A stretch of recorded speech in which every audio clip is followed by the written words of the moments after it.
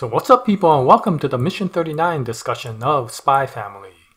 So Mission 39 came out a couple of days ago, and as always I will leave a link to this mission that is currently being shown on the publisher's official website Manga Plus to the North American audience for at least a few weeks. So if you're interested, yeah, go to the description section and uh, use the link to take a look at the chapter. Anyway, uh, Mission 39 I would like to say right off the bat that I really enjoyed Mission 39. Yeah, this mission, it's very different from the other chapters that we have read so far. And yeah, I really, really enjoyed this. The story is very off from the main story of Operation Strix. And in fact, it doesn't even involve the Forger family. So there is no Anya, Yor, or Loid in this chapter. And yet I really enjoyed the chapter a lot because it focused on Damien. And not only Damien, but his gang. And the thing I really liked about it is if many people read the chapter, they may say that this chapter is very wholesome. But the reason I like it is because it's very heartening. And you may think that that's very similar in description, but what I feel when I say heartening is something that's a little bit deeper than wholesome. Wholesome is something like you could take a picture of a cute little chicken and it would be very wholesome, but there's really no depth to that character that you see. It's just a photo of a very wholesome picture heartening when I say is because you reveal that character that is underneath that image, right? So far we've had the image of the gang, right? Damien and the other two kids, which we typically don't get the name of, but in this one we got at least their last names of Elman and Egeburg, if I remember. And what we find is that this is a very heartening chapter when we read about the bonding that these three children have. And I absolutely love the way Tatsuya Endo brought it out. You see, it continues on from what we saw in chapter 38, where Damien, when his father, Desmond Donovan, visited the school, got some information that the father actually had some care for the son. And so that inspires Damien to go out and try to gather more Stella stars. And that's how chapter 39 or mission 39 starts. We find Damien basically working himself to death, you know, studying and trying to learn everything to get the next Stella star through academic excellence. But what it's doing is it's basically burning him out. And this is during a vacation time when the school is off. But Damien is so much into studying late at night that he had a hard time getting up even for the morning muster, which I guess is the morning inspection, is another way of saying it. And so he gets a detention, even though the school is off, and he has to help the staff, you know, do some of the chores, including laundry. And this is where we start getting into the depth of the characters that are coming out. First of all, we learn a little bit more about Mr. Henderson. And I really do like the character of Mr. Henderson because aside from him being elegant, he is definitely a very kind character. And despite that this is a detention, he's actually doing this not to punish Damien, but to give him a break from that studying so that he doesn't completely burn himself out. And what's interesting is, of course, Damien's friends, the two kids, uh, and uh, Elman, come up and uh, tell him that there's a movie going on. Everybody's going to go on a movie field trip. And Damien says that he has to stay back because of detention.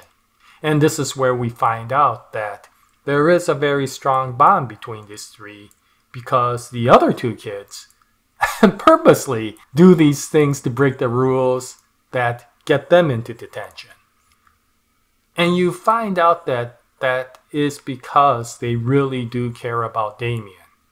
Up till now, you know, what you've thought about these three were that these three were going to be the antagonists to the Anya world, right? Not the Loid Forger world, but the Anya world in the school.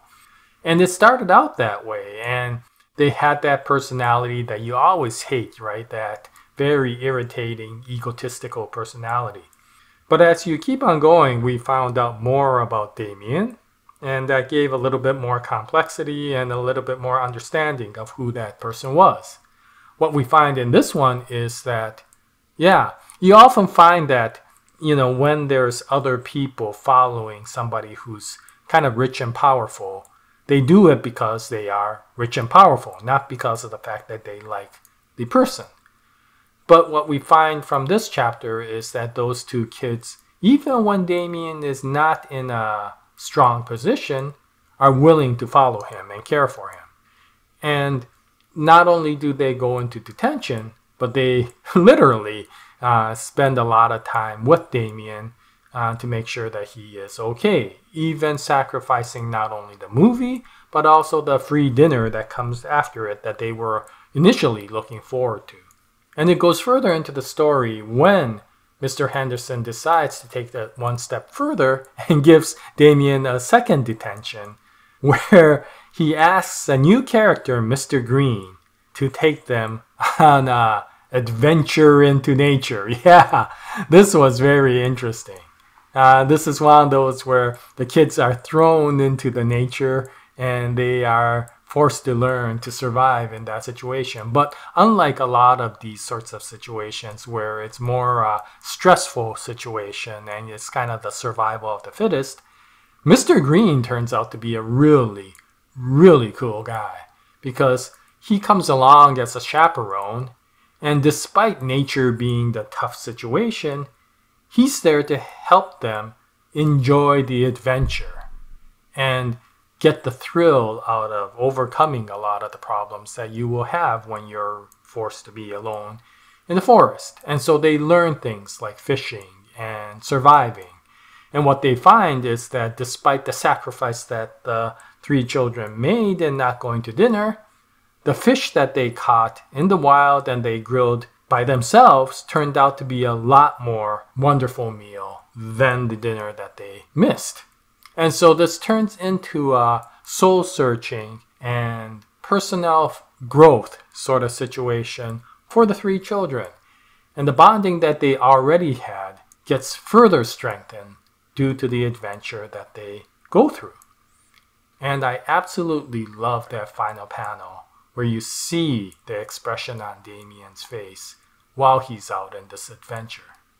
So this was a really good story. And this gave much more depth into these three characters.